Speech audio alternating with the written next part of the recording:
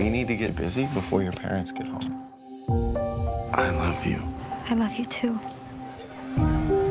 Hey, Hey. here, cheers. Cheers. Brent is rich and hot. He's just a good friend, Sarah.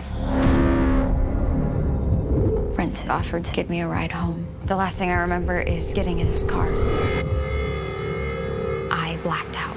And the next morning, I woke up and I think he drugged and raped me. Jess, do you think you might be pregnant? I don't know. Just let the police handle it. I swear I'm not going anywhere. There's no easy way to say this. Your girlfriend's pregnant with twins, but the babies have two different fathers. I'm keeping my babies. Maybe we're gonna get him. I'll do anything, Dad, to make this go away. Be smart about this. You think you can shut me up with a check? You really want to lose everything? You're not gonna get away with this. If enough of us speak up, we can stop him. I'm not ashamed or afraid. The only one who should be afraid is Brent.